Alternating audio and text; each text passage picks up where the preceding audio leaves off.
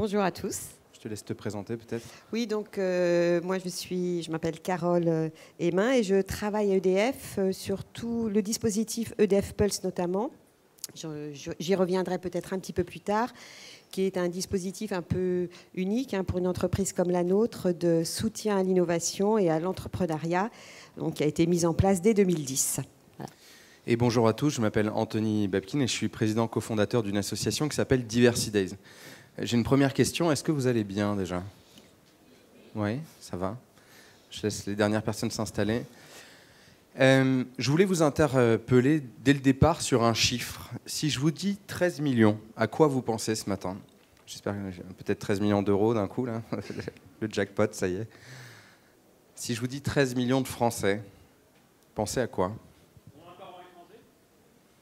Non.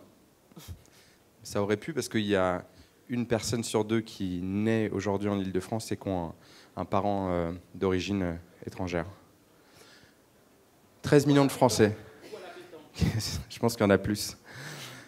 13 millions de Français. Et si je dis en lien avec le numérique, vous pensez à quoi? Allez, je vais vous réveiller un petit peu. Je suis obligé... Ça vous force à retirer le nez de l'ordinateur quelques secondes. 13 millions de Français qui? 13 millions de Français, ce n'est pas les adeptes au numérique. Au contraire, 13 millions de Français, c'est le nombre de Français qui sont aujourd'hui en marge de cette croissance numérique. Je sais que ce matin, je parle à des grands adeptes euh, de la révolution numérique et du marketing digital, mais ce sur quoi je voulais vous interpeller ce matin, c'est le nombre de Français qui aujourd'hui sont en marge de cette espèce de révolution. Quand on dit 13 millions de Français en difficulté avec le numérique, c'est 13 millions de Français, un quart des concitoyens, qui aujourd'hui n'ont pas accès à un réseau, on va dire, haut débit de nouvelle génération, ou qui tout simplement ne vont pas sur Internet, ne se connectent pas ou tout simplement qui n'ont pas euh, de smartphone de dernière génération, donc qui ne naviguent pas sur ces espaces. 13 millions de Français, c'est 13% de Français qui ne se connectent jamais à Internet. Alors dedans, on peut avoir tout un tas de clichés en se disant bon, c'est normal, c'est les aînés, euh, ou c'est normal, c'est les plus jeunes. Et en fait, quand on regarde, ça touche beaucoup de, catégories socioprofessionnelles, mais aussi, évidemment, le, on va dire le clivage euh, grande ville, région rurale, quartier se creuse.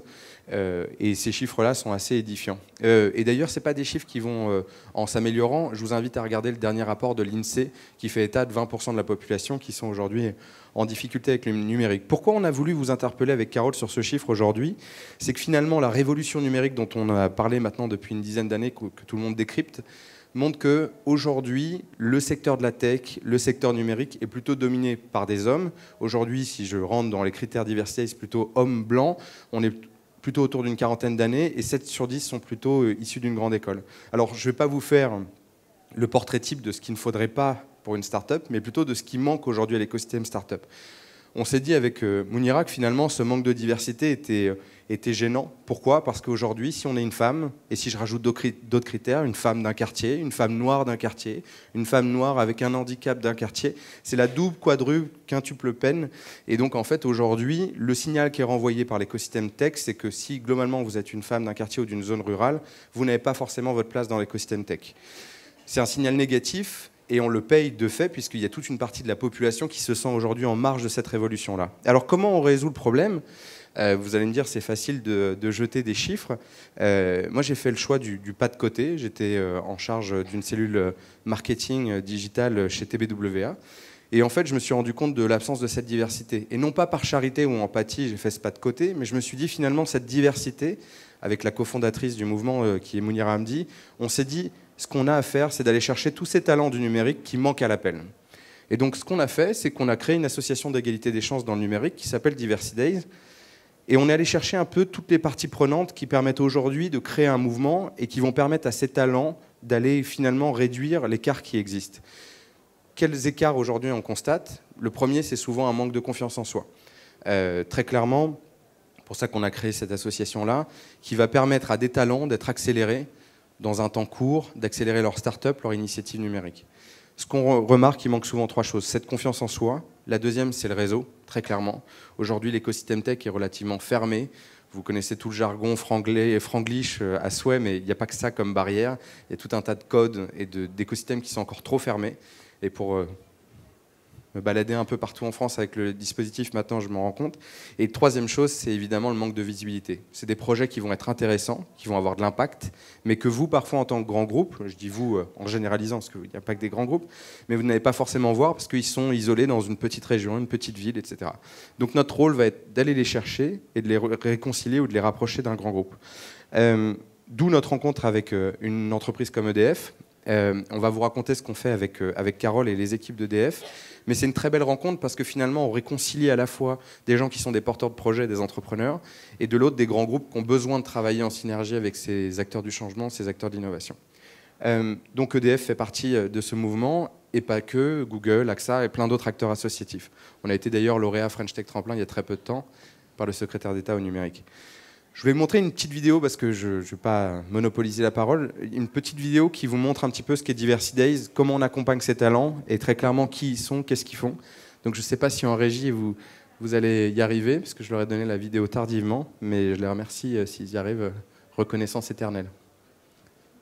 Et euh, éternelle et, et même fontaine de chocolat et de chouquettes. Pour mettre la pression, les chouquettes, vous avez compris. Euh, on va vous montrer ensuite, euh, Carole va vous parler aussi de ce que fait EDF et comment aujourd'hui on arrive à créer des collaborations où, en, rapprochant un acteur associatif comme le nôtre et des grands groupes, on se rend compte que c'est des facilitateurs. Ça devient un facilitateur pour, pour euh, à la fois une, une entreprise, mais aussi pour ces jeunes startups. Peut-être qu'il reste 10 minutes, donc peut-être que Catherine parle et on mettra la vidéo au moment du changement de salle. Ça marche. D'accord. 1, 2, 1, 2. Vous m'entendez? Oui. Donc, je vais vous présenter un petit peu le réseau euh, d'Open Innovation du groupe EDF. Comme euh, je vous le disais, euh, il a été lancé dès 2010. Donc en gros, il couvre toute la palette hein, de soutien à l'entrepreneuriat et aux startups, qui va de, du sourcing de startups aux incubateurs, aux levées de fonds et puis au prix EDF Pulse dont vous avez peut-être entendu parler. Donc, les prix Post euh, existent depuis 2014. On a eu donc plus de 8000, 1800 euh, startups candidates, à chaque fois sur des sujets euh, de société, hein, à enjeux forts comme la transition énergétique. Donc il s'agit là vraiment d'accompagner hein, les, les, candidats, de les accompagner, voire aller jusqu'à la levée de fonds lorsqu'ils sont lauréats. Donc on est sur trois catégories, c'est bien-être et santé, sur les territoires durables et la smart city, et puis sur tout ce qui est transformation numérique euh, et nouveaux modes de travail euh, dans les entreprises.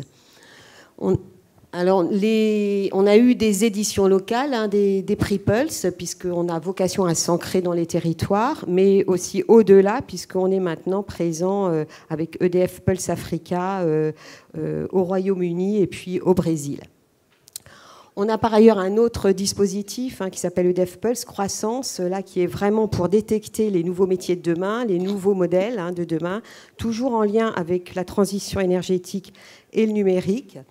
Donc, euh, sur les sujets hein, toujours euh, de société, euh, comme le service à l'habitant aussi, la smart city, les systèmes énergétiques décentralisés, c'est-à-dire les, systèmes en autoconsommation, autoproduction, voilà, avec 30 millions d'euros à peu près à investir euh, par an.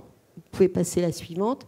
Et on a des appels à projets hein, euh, sur euh, là plutôt sur le domaine social pour identifier les nouveaux métiers hein, dans tous ces nouveaux services qui vont émerger avec le digital, que ce soit sur la silver economy, l'accompagnement des personnes âgées, les services à l'habitant ou la e-santé qui est encore en cours en ce moment.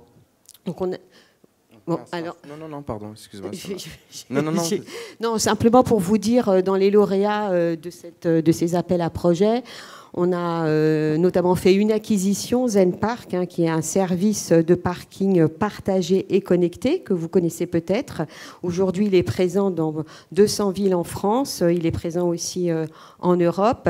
Et donc, euh, l'idée, c'est simplement que les entreprises, les administrations, les hôtels, les parkings partagent hein, et ouvrent à tous les utilisateurs, tous les automobilistes, leur parking lorsqu'ils sont inoccupés, le week-end, aux heures creuses, etc. Donc, ça marche formidablement bien et c'est aussi un accélérateur hein, de la mobilité propre euh, et de la mobilité électrique notamment. Je ne sais pas si du coup, euh, en régie, on, a moyen d'avoir cette vidéo ou pas, si vous avez réussi à trouver le... pour vous montrer un peu ce que, ce que ça donne. Euh, donc vous l'avez compris, entre le dispositif EDF Pulse et euh, ce qu'on va faire nous, il se passe ça. Voilà.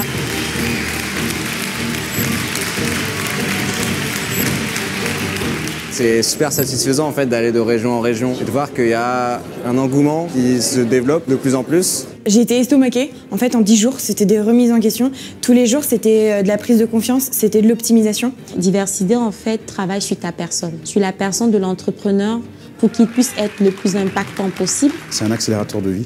Ça nous met en lumière et ça permet de rencontrer des personnes euh, qu'on n'aurait pas rencontrées. On voit en fait le lien que nous avons tous et j'ai trouvé de, l'amour et j'ai trouvé une raison de me battre. C'est un truc de fou. En vrai, j'ai pris une claque, mais comme jamais.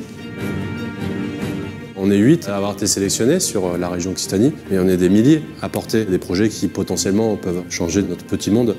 Et du coup, euh, bah, ce leadership programme, il me permet de mieux assumer qui je suis et ce que je fais en fait et les retours d'expérience qu'on a eu aussi des autres entrepreneurs au dîner. Mes oreilles, elles étaient comme ça, j'en avais 8 des oreilles, j'écoutais tout le monde, je prenais les infos. Et l'équipe Diversité a réussi à casser cette peur qu'on pouvait avoir de discuter avec des grands patrons.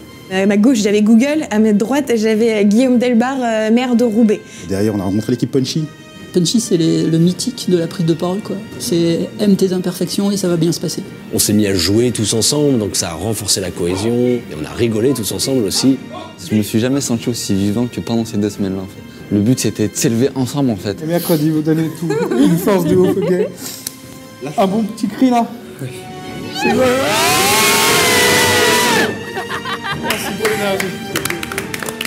La particularité de ces talents, ils viennent de parcours variés, mais ils sont unis par une même conviction, celle de porter un projet entrepreneurial qui utilise le numérique pour faire bouger les lignes. Il faut assurer, on est là pour présenter un projet qui peut peut-être changer la vie des gens, en fait, ce sont des gens qui ont des talents, qui font des choses extraordinaires, mais je pense qu'ils ne le savent pas.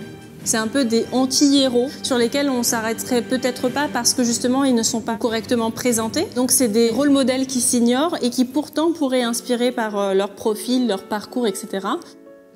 Diversité permet de sortir l'essentiel sur 10 minutes pour donner envie à d'autres personnes de venir avec toi. on est sur un podium quoi. Ça m'a procuré une émotion en sortant de scène indescriptible. Même après des plus grandes victoires au sport, au basket, des, titres de championnat ou des montées, j'ai pas ressenti ça. Je savais pas que je pouvais toucher autant de personnes. J'ai pas d'enfant, mais je pense que c'est comme quand on accouche d'un enfant. c'était magnifique, c'était. J'ai même envie de le refaire pour dire que ça va me manquer. Avant, ne serait-ce que devant une personne, j'étais pas capable de parler. Je suis chaud patate là. je fais pas un mètre sans avoir une félicitation, une demande de contact. C'est là, je suis sur un nuage. C'est vrai que s'il n'y avait pas cet événement, prendre le téléphone ou contacter un média et dire bon bah j'ai un projet qui vraiment me tient à cœur et est-ce que ça vous intéresse bah déjà d'une on se met notre propre barrière parce se mais non ils s'en foutent ils le feront jamais et, on n'a pas forcément le temps donc euh, c'est une sorte de petit réacteur qu'on met en bas du projet et qui euh, nous envoie dans l'espace. J'ai toujours des étoiles dans les yeux et je, toujours une petite larme à la fin en disant euh, ils sont trop beaux, ils sont juste trop beaux. Je pense que ces dix jours, ce seront les meilleurs euh, dix jours de ma vie. Je vais en garder un souvenir euh, vraiment incroyable. La vie d'entrepreneur, c'est être isolé. Mais en même temps, j'ai trop la chance. Grâce à Diversités, on est ensemble maintenant.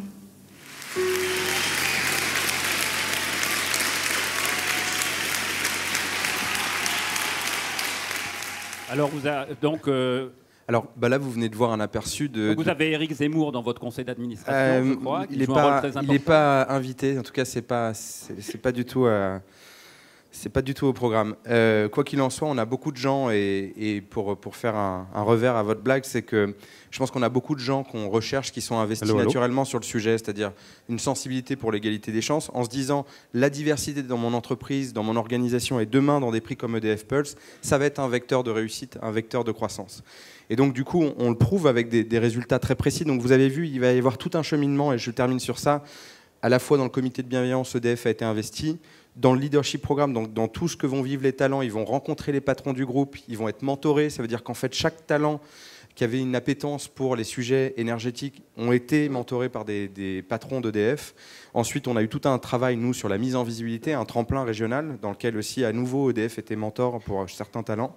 Et ensuite, ils intègrent notre réseau. Concrètement, et pour finir sur ça, parce que c'est le résultat, seul le résultat compte, et d'autant plus pour les professionnels du marketing, euh, on a un premier talent qui a été accompagné en Occitanie. Il a eu une grosse visibilité. Il est devenu un partenaire un peu privilégié d'EDF. Je- je Oui, c'est Boubacar Sania, donc c'est un jeune homme quand même assez extraordinaire, au parcours euh, là pour le coup vraiment inspirant et qui a développé une solution euh, tout simplement euh, remarquable. hein, euh, C'est une carte vitale pour l'Afrique de l'Ouest, c'est on ça. peut le dire. Voilà, tout à fait. Et donc nous avions repéré et que nous avons proposé au Diversidays et aujourd'hui qui nous accompagne hein, sur les prix EDF Pulse Africa. Donc si c'est veux, une euh, belle histoire et je, je termine par Khaled et puis Delphine. Ces deux-là aussi ont eu des, des- des collaborations particulières Mm. avec euh, les patrons de votre groupe et donc ça leur a permis à la fois de signer des contrats, de rentrer, d'être plus identifiés. Et là on va passer toute une journée à Saclay euh, Pour les avec vous. accompagner. Ouais, Pour sur les notre centre de recherche, C'est ça, euh, sur le centre de recherche. Donc pareil dans cette logique de rapprocher ces innovateurs un poil différents de ceux qu'on Mm. a l'habitude de voir avec bah, les, les- des, des- des géants de l'innovation et en particulier sur, vos, sur votre centre de recherche à Saclay. Voilà, merci de Ouais. votre... de Bah, votre- Je voudrais- Je, je- je voulais juste ajouter que je pense qu'il faut vraiment qu'on prenne conscience que transition énergétique et numérique, hein, les deux conjugués, c'est une vraie opportunité hein, pour pousser euh, la diversité euh, et la mixité. Enfin, en tout cas, c'est une des convictions euh, du groupe EDF. Voilà, on voit que c'est une diversité, d'ailleurs, pas simplement d'origine ethnique, mais du handicap. Oui, oui, elle euh, couvre tous les champs de la voilà, elle couvre Tous les diversité. champs de la Tout à diversité. fait. voilà. C'est la diversité avec un grand S. Je- Merci à tous les deux. Merci, c'est une initiative Merci. très intéressante. Merci.